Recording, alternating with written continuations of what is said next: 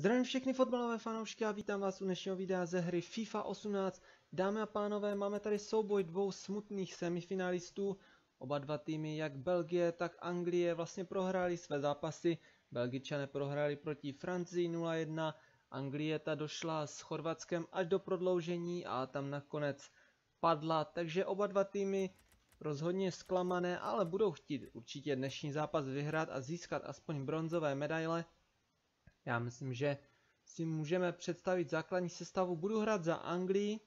Teď se podíváme na Angličany. V bráně je připravený Pickford, tříčlena obrana Maguire, Stones a Walker. V záloze potom Trippier, Lingard, Henderson, Young, Dele Ali a útok Harry Kane a Raheem Sterling.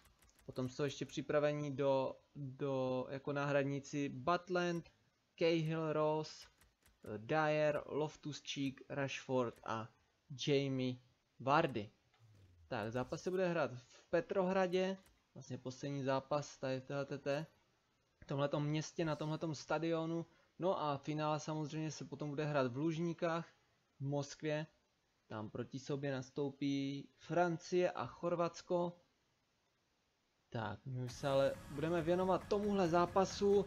Angličané samozřejmě velice zklamaní, tak samo i Belgičané, protože oba dva týmy mohli dosáhnout velkého úspěchu. Tyhle ty dva týmy už se spolu setkali na mistrovství světa vlastně ve skupině. Tam tehdy vyhrála Belgie 1-0. A uvidíme, jak to dopadne dneska. Přece jenom dneska už je to mnohem důležitější zápas, protože v tom zápase předtím moc nešlo, tam už oba dva týmy měli postup výsty kde bojovali akorát o první místo. No a dneska samozřejmě oba dva týmy budou chtít určitě zakončit mistrovství světa uh, vítězstvím a teďka samozřejmě si poslechneme státní hymny.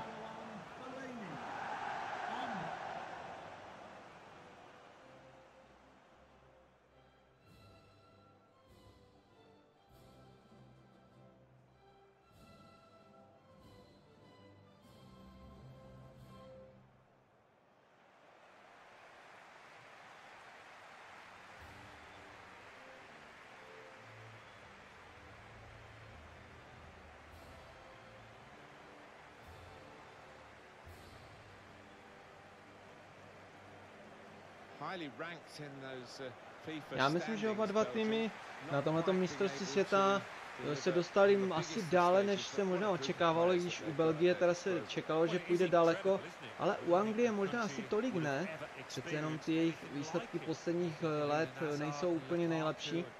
A musím říct, že Angličané tento rok mě velice milé překvapili. Rozhodně se jim to přál, mám rád anglický fotbal, anglickou ligu.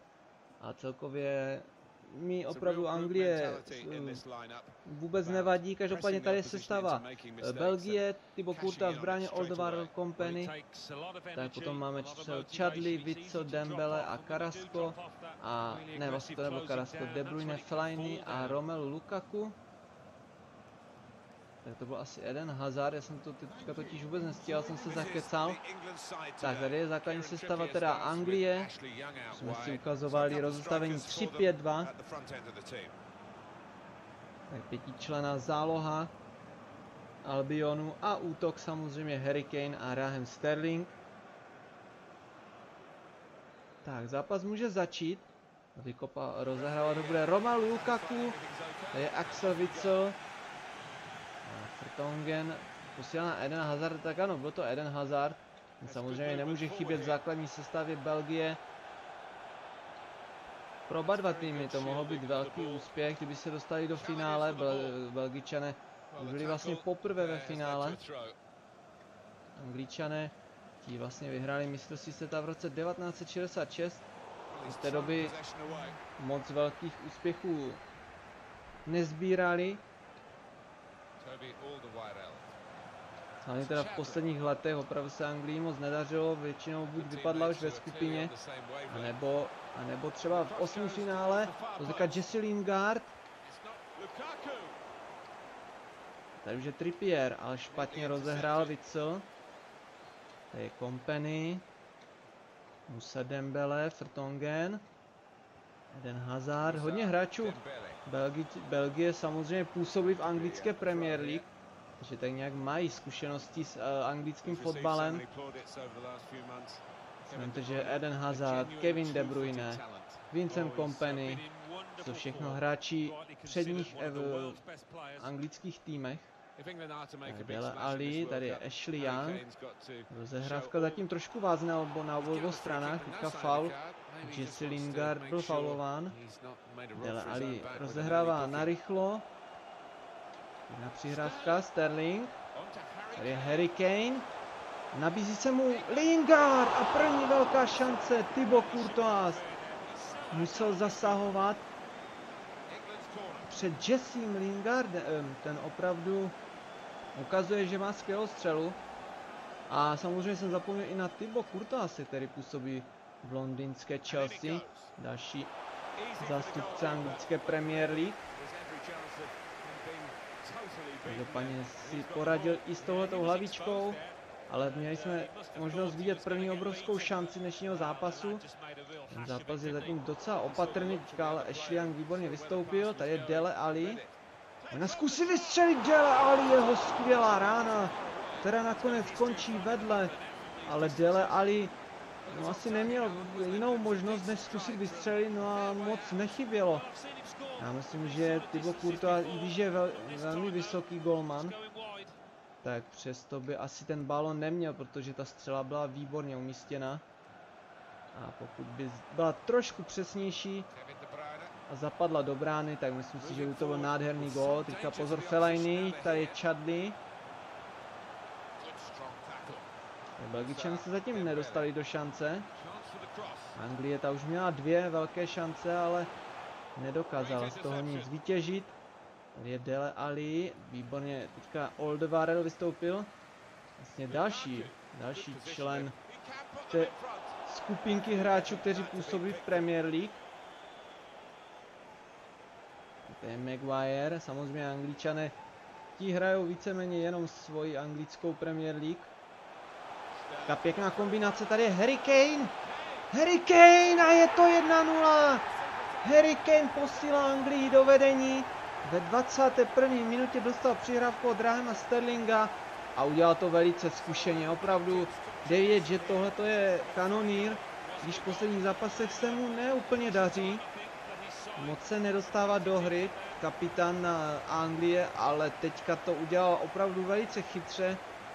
A možná trošku nachytal ty Courtoise, který asi možná nečekal, že to Harry Kane udělá takhle tak lišácky, že na přední tyč pošle míč. Spíš se asi možná myslel, že ho se pokusí obstřelit na zadní tyč, ale to se nestalo a Harry Kane je úvodním střelcem dnešního zápasu. Vidíme, jak na to odpoví Belgie. O, teďka jasný faul na Kevina De Bruyneho.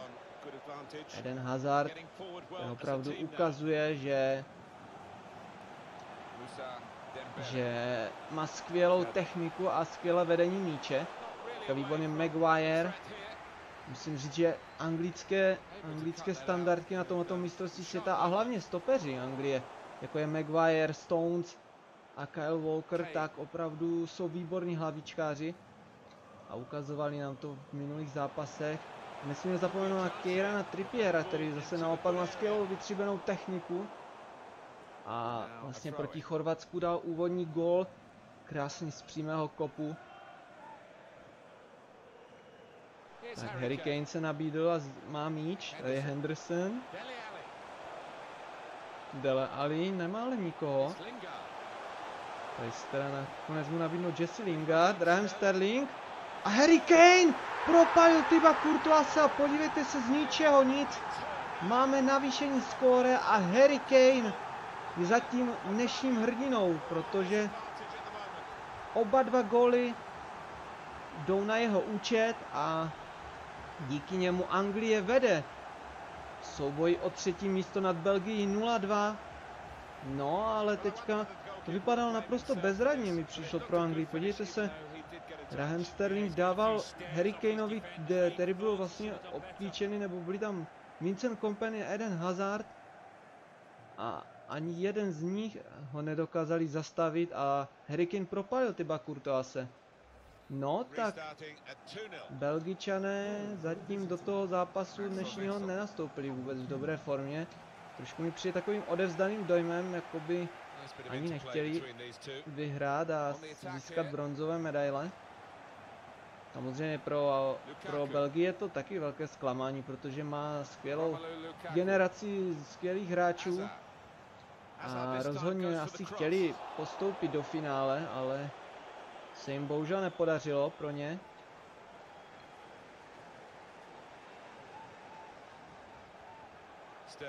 Graham Sterling. Teďka Dele Ali dostal zajímavý balon. Graham Sterling, ten sice je takový hráč eh, do rychlosti, dokáže pro, pořádně provětrat obrany soupeřů, ale dneska se žil do role nahrávače. a zatím připravil oba dva góly Harry Kaneovi, Harrymu Kaneovi a teďka vymýšlel další skvělou nahrávku na Dela Aliho. Teďka znovu Ryan Sterlingu míče, ale míč má teďka Chadley a připravuje balon, jenomže Walker výborně tohleto přečetl. A tady je Kieran Trippier. Nabídl míč právě Sterlingovi. Ryan Sterling, i když to vypadalo zajímavě, tak nakonec belgická obrana si s tím poradila. Kevin De Bruyne vyskočil výš, ale míč má Anglie, Ashley Young, ale výborně Eden Hazard. Tak blíží se nám konec prvního poločasu. Pozor, ale teďka ještě Ashley Young. Harry Kane. Harry Kane, co vymyslí? Raheem Sterling, obrovská šance. Tentokrát ale Thibaut Courtois zachránil Belgii od dalšího inkasovaného gólu. No, tak teď už mohlo být s Belgičanama opravdu hodně zlé, protože 0-3 po prvním poločase, to by bylo hodně, hodně vysoký výsledek. Teďka Dele Ali je už v pokutovém území, ale dlouho váhal, co provede a Fertongen ho odzbrojil. Teďka ještě Romelu Lukaku může našlapnout. Ten taky v těch posledních zápasech nebyl úplně tolik vidět. Oh, pozor, teďka ještě zajímavé možnosti. Kieran Trippier ale vyskočil nejvíc, ta, nejvýš. Tak, tři minuty rozhodčí nastavil v prvním poločase, teďka střela Edena Hazarda, ale žádný problém pro Pickforda. A myslím si, že poločas už se chýlí pomalej jistě ke konci. Stones, angličaneti už rozhodně se nebudou nějak tlačit do útoku. Konec prvního poločasu dámy a pánové, po prvních 45 minutách zatím Anglie vede nad Belgii 2-0 díky tomuhle muži, který má zatím 100% bilanci v dnešním zápase. Dvě střely, dva góly. Harry Kane může poděkovat za ty góly hlavně Rahemu Sterlingovi, který mu je oba dva připravil. No a Belgičané opravdu pokud chtějí pomýšlet na, na vítězství v dnešním zápase, tak budou muset hodně přidat. Když Angličané taky neměli až za stolik šancí, ale rozhodně víc než Belgie. A taky rozhodně dali víc gólů než Belgie, nebo samozřejmě Belgie nedala ani jeden. Anglie dala dva a díky tomu zatím vede po prvních 45 minutách. Každopádně teda tady máme statistiky prvního poločasu. Vidíte, že aktivita byla na straně Anglie, střely 6-2, pro Anglii střely na bránu 5-2, držení míče lepší pro Belgii 55-45, Eh, rohové kopy 1 na straně Anglie. Tak a tady máme události zápasu 30, uh, 30 minuta, ale ještě předtím 21. minuta. Harry Kane a jeho dva góly. Anglie zatím vede a je blíž k tomu, aby získala bronz a skončila na konečném třetím místě. Začíná nám druhý poločas, dámy a pánové, a Raheem Sterling poslal míč do hřiště. Nebo samozřejmě už hřišti bylo, ale poslal míč spíše do hry. Teďka už Dele Ali. Angličané teda měli výkop, ale moc dlouho se s míčem neohřáli. Teďka ale zase Henderson a ani belgická aktivita na balónu netrvala moc dlouho. Já si myslím, že teď Anglii bude stačit, když bude dobře bránit a bude vyrážet třeba do nějakých nebezpečných protiútoků nebo po případě si pomůže s nějakou standardní situací, protože to Anglii asi jde úplně nejlépe na tomhle turnaji. Standardní situace z těch střílí nejvíc gólů. Harry Kane sice míč získal, odkopl ho ale pouze do zámezí, takže Oldevareld bude na míči, ale Harry Kane výborně vybojoval balón. Ten, to autové vhazování nebylo vůbec dobré od belgického hráče a tady je Rahem Sterling, dává pod sebe Dele Ali v obrovské šanci a nakonec Kurtoasovi musel pomoct. Jestli to byl Frtongen, ne, ne, ne, to nebyl Frtongen, to byl to byl jeden z hráčů, asi Oldevarel, ano, Oldevarel to byl, který pomohl Thibaut Courtoisovi při tom zákroku. No a Thibaut Courtois si myslím, že se rozhodně nenudí v dnešním zápase. Angličané ho celkem prověřují. Romelu Lukaku ten teďka opravdu využil své proporce. Stones ale jeho centr odvrátil a Kieran Trippier posílá na Aliho, že ten špatně přihrál, tady je Witzel, ale ani ten se dlouho s balonem ne, neohřál a tady je Rahem Sterling, Harry Kane, nakonec míč podržel pro Angličany, Henderson. Myslím si, že tahle ta hra teďka Anglii momentálně vyhovuje. Harry Kane nakonec se obtočil s balonem, ale míč mu utekl a už zase můžou hrát Belgičané a vymýšlet, jak se dostat přes anglickou obranu. Harry Kane, ten taky umí vystřelit z dálky a vystřelil, prověřil Tyba Courtoise. Ten si ale poradil, ale za cenu toho, že si Anglie vlastně za, uh, kopne rohový kop. Tak do hry přišel Karasko a teďka odchází Ashley Young a nahrazuje ho Loftus Cheek. Tak tady máme střely zatím jednoznačně pro Anglii 8-2. Oldevarel výborně odvrátil. Máme nějaké zranění Kevina De Bruyneho. Harasko teďka zastavil tuhle tu přihrávku a Belgičané můžou postupovat do útoku. Romelu Lukaku ale musel se s míčem vrátit. Oldevarel a teďka na poslední chvíli před Loftusem Číkem odkopl. Kevin De Bruyne, tady je Dembele. Fellaini, Carrasco. O, teďka Trippier, to tam vypadalo na fal, ale rozhodčí ponechává hru. A Dele Ali připravuje míč pro Rahema Sterlinga, který jde na bránu sám. Rahem Sterling, ale výborně Thibaut Courtois. Ale ještě Loftus-Cheek zabojoval. A ještě na podruhé, nakonec míč vybojoval pro Anglii. Ale Henderson špatně přihrál, Axel Witsel to přečetl. A tady je Lukaku, Witsel. Fellaini, Lukaku. Tady se rozbíhá Karasko. Janí Karasko, jo, centr. Maguire. Stones nakonec odvrací a Loftus-Cheek. Ale špatně přihrál, tohle byla velká chyba. Lukaku.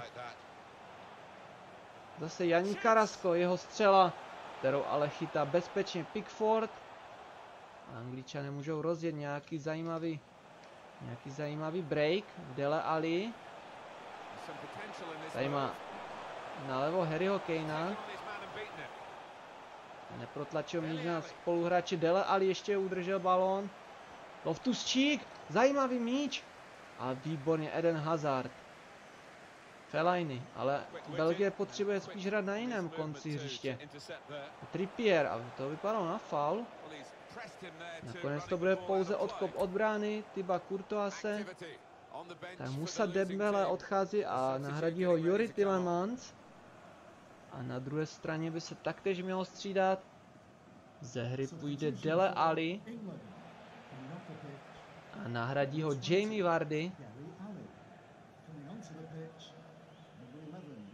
No, Belgičané mají už docela dost málo času na to. Vystřelili dva góly, ale ale zase naopak zase naopak ještě dostatek, aby se jim to mohlo podařit. Teďka Harry Kane zkusil vystřelit. Atakuje hat ale teď se mu to nepodařilo. Fellaini odchází a nahrazuje ho Michi Batshuayi, který by měl posilit útok. Podívejte se, Belgičané vrhli už všechny síly do útoku. Budou hrát na dva útočníky, ale nedaří se jim rozehrávka. Ten střed hřiště je výborně pokrytý od Angličanů. Kieran Trippier. Lingard a připravený prohánět znovu s Ryan Sterling, ten má opravdu neskutečnou rychlost, dává znovu pod sebe a teďka Jamie Vardy bohužel pro Anglii trefil Harryho Kanea, kterého navíc který byl navíc v offsideu, takže tím akce končí. Poslední střídání i na straně Anglie, odchází Raheem Sterling a nahrazuje ho Marcus Rashford. No ale viděli jste sami, jak našlapnul Raheem Sterling, tak to byla neskutečná rychlost. Teďka John Stones se vrhnul do souboje s tohletou vlastně s Romelem Lukakem, to je horda svalů. S ním bych rozhodně teda nechtěl jít jako obránce do souboje, on by mě asi zválcoval. Ale Jonesovi nezbývá, no Stonesovi vlastně nezbývá nic jiného, teďka Romelu Lukaku má dost prostoru a zase Stones, výborně. Tentokrát míč tělem. A tady pozor, možnost pro Rashforda, Markus Rashford! Běžel z úhlu a Thibaut Courtois. Musím říct, že dneska, i když pustil dva góly, tak předvádí výborný výkon, protože spoustu šancí Angličanům pochytal. Oldevárel, ten je zase naopak ve vzduchu výborný a co se týká standardek, tak zatím králuje, pokud to území. To je Kieran Trippier. Ten nám ukázal už vlastně v tom minulém zápase, že umí skvěle vystřelit. Tentokrát ale jeho střela byla zblokovaná a měl by to být rohový kop znovu. Toby Alderweireld. Skvěle zasáhl, ten je opravdu všude, co se týká bránění. Tentokrát ho zastoupil Baščuaj. Walker, jeho rána, která končí vysoko nad. A rozehrává Thibaut Courtois, ale Angličané zase nějaké ty minutky ušetřili kdy hráli u pokutového území Anglie, eh, teda Belgie, pardon. Harry Kane teďka ozbrojil Edena Hazarda, může pokračovat, tam se mu nabízí možnost, teď už to asi Harry Kane trošku prováhal. A šance pro Belgičany, jenomže Lukaku špatně rozehrál. Tak tři minuty, už se blíží ke konci. Vypadá to z Belgičany hodně špatně. Angličany si naopak půjdou už nebo už si jdou pro úspěch tím, že získají aspoň bronzové medaile. Ještě Kieran Trippier rozehraje rohový kop. A myslím si, že to bude všechno z dnešního zápasu. Je to tak, dámy a pánové, Anglie poráží Belgii 2-0 a získává bronzové medaile, naopak Belgičané nakonec, nakonec končí na nepopulární čtvrté příčce a samozřejmě uvidíme, jak to všechno dneska dopadne. Já teda více přeju Anglii, ale spíše favorizuju Belgičany, ale uvidíme, jak to nakonec dopadne. Přál jsem teda Anglii nejvíc vlastně z té aby postoupila do finále. Nakonec teda bohužel pro ně eh, skončili už ve semifinále, nestačili na Chorvaty, ale aspoň teda to třetí místo doufám, že Anglie vybojuje.